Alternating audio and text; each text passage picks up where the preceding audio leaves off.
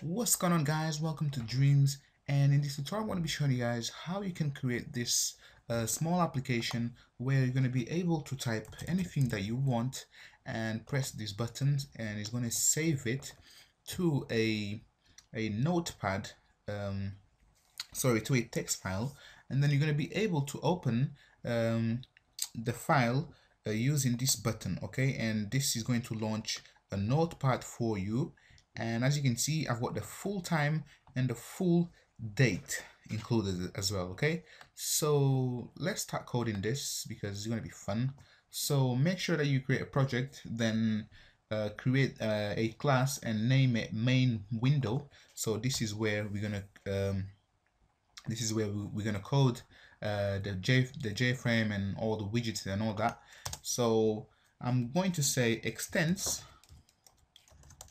extends extends JFrame. Okay, so we're gonna be extending this class, um, the JFrame, and we can import uh, the JFrame from the library, and I'm gonna change that to a star. So he's gonna um, going to import everything. Okay, so now I'm gonna create uh, my my widget. So I need uh, one text area, or let me say my component. So I need the J text area I'm going to call it TA then I need two buttons. So I want to say J button B1 um, B1 and B2 okay? And then I'm gonna I'm gonna have uh, two uh, not two but three uh, panels okay? So I'm going to say J panel.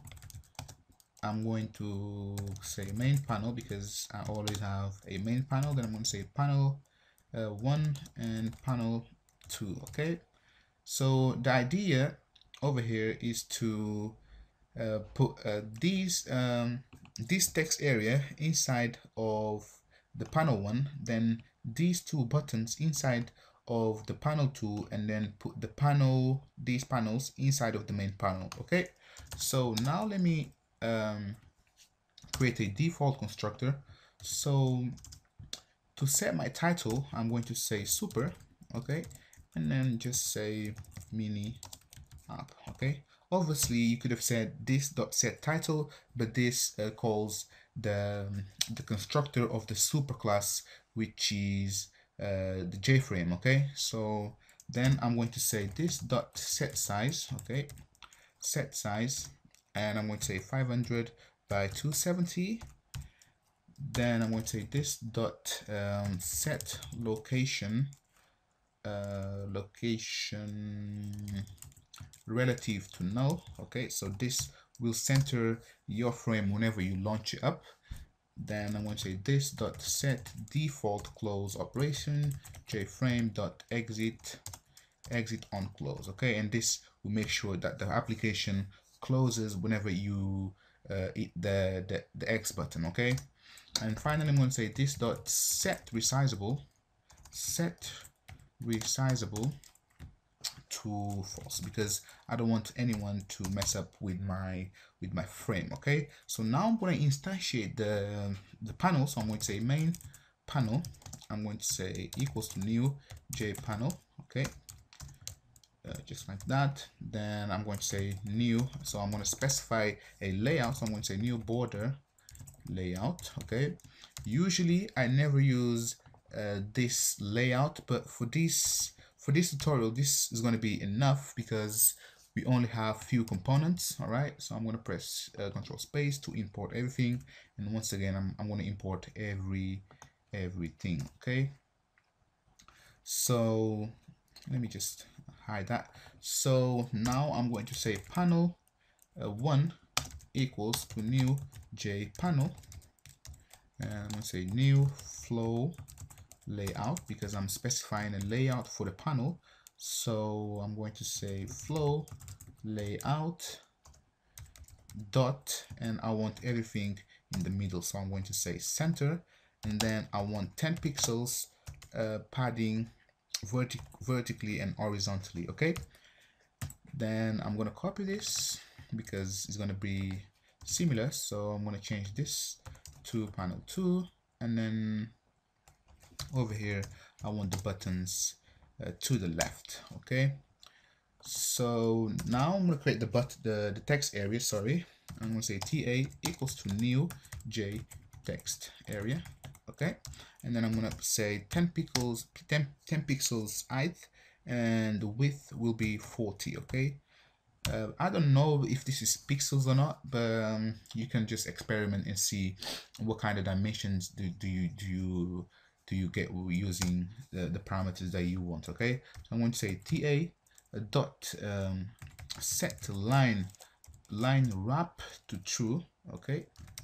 Line wrap to true and ta dot set word uh, uh, wrap style uh, not yeah set wrap style word to true okay? So basically um, these two lines of code say that whenever you reach uh, to the end of the line and make sure that you do not break any words just keep keep them uh, together and skip to the next line okay?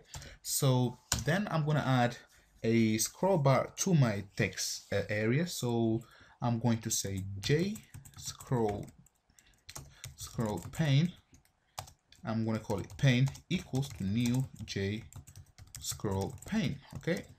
And then I'm going to put the TA the text area inside of it. Just like that. Uh, control shift O to import everything that I need. Then I'm going to instantiate the button. So b1 equals to new j button j button. And I'm going to say save just like that. Then b2 equals to new j button. And open file with notepad okay? Just like that. And now I need to add the text area and the buttons to their corresponding panels. So I'm going to say panel 1 panel 1 dot add and sometimes you might think that you need to add the text area and usually this is wrong because as you can see I've added the text area into the pane okay the scroll bar and therefore I need to add the pane instead of the scroll the, the text area okay? Then I'm going to say panel 2 dot add uh, b1 okay? And panel uh, 2 dot add b2 simple as that. Then I'm going to add the panels to the main panel okay? So I'm going to say main panel uh, dot add panel 1 panel 1 just like that and main panel dot add uh, panel 2 okay? And finally I'm going to say this dot set visible to true cap uh, uh, lowercase to true and I'm going to say ta dot ta dot um, request request focus okay? So you're gonna have a focus uh, whenever you you launch your frame okay? So now if I run this code so just let me show you what's going on. So if I run this code actually I need to go to my main class make sure that you create a main class and create a variable of type main window and call it window equals to new main window okay? Just like that. And now if I run this as you can see um, the frame is empty okay? And the reason why is because we need to add the the main panel to the frame okay? So I'm going to say this dot add and I'm going to say main panel. So now if I run this as you can see I've got the buttons and the text area is not visible. And the reason why is because I'm using uh, the border layout inside my my main panel and the border layout says that whenever you add any component to it you must specify the location okay? So we haven't done that so we're gonna do it now. So I'm to say border layout dot and I want this uh, in the center. And I'm gonna copy this because it's gonna be not copy. I'm gonna I'm gonna say border layout dot south. So I want uh, the panel which contains the button the buttons to go to the bottom okay? So now if I launch the program you'll see that everything uh, works fine okay? So that's it for this tutorial and we're gonna carry on on the next tutorials. Thanks for watching my tutorial. Don't forget to subscribe